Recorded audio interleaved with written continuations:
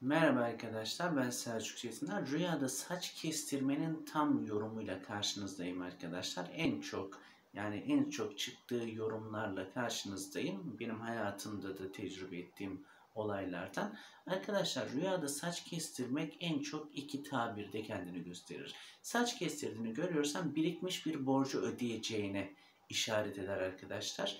Ya da arkadaşlar Allah yoluna gireceğinize yani ibadet etmeye başlayacağınıza, ibadet etmeye karar alacağınıza, artık size bir dini açıdan ilham geleceğine işaret eden rüyalardır arkadaşlar. Yani saç kestirme rüyaları kötü bir şeye çıkmaz. Ya yani bir dertten kurtulmadır. Çünkü baştan arkadaşlar işte bit düştüğünü görürsün, karınca düştüğünü görürsün, baştan bir şeyler düştüğünü görüyorsan öyle hani ne derler ona yaratık diyeceğim de yarı canlı filan düştüğünü görüyorsan bu arkadaşlar daha çok kafadaki sorudan sorundan kurtulmaktır. Saçı kestirdiğini görmen de birikmiş borcu ödemek ya da arkadaşlar peygamber sünnetlerine uymaya Allah'ın yoluna girmeye işaret eden bir rüyadır. Görüşürüz, hoşçakalın.